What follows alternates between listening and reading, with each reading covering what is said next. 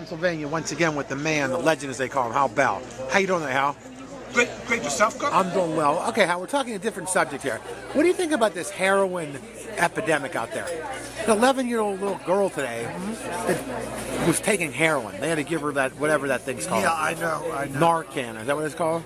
Yeah, well, you know what? Um, The, right now they're selling, they're selling, instead of heroin, they're selling fentanyl, okay? Yeah. And they say that it costs, for, for a kilo, which is 2.2 pounds, heroin costs $32,000. yeah. This fentanyl costs two thousand dollars, so it's sixteen times cheaper.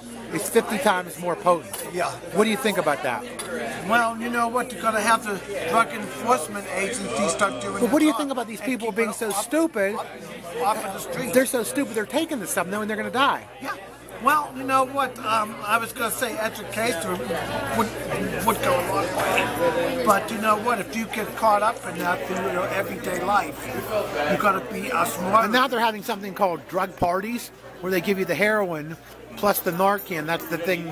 I don't know how you take it, ingest it or take or whatever, swallow it. That's so if someone's overdosing, you give them a shot. I guess a shot, and then That's you won't not going to solve the, the problem. You've got to stop stop people from taking it, and you've got to stop it from coming into the country. Okay. So that's something that Mr. Trump should address too. Right, and he's not gonna do anything. Which he has not addressed because he's a major heroin problem in this country, and it's not been addressed by Mr. Trump a- at all. Okay.